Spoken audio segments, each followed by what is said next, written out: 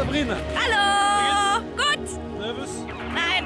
Do you want to say some last words to your family and friends for the last day of your life? I come again?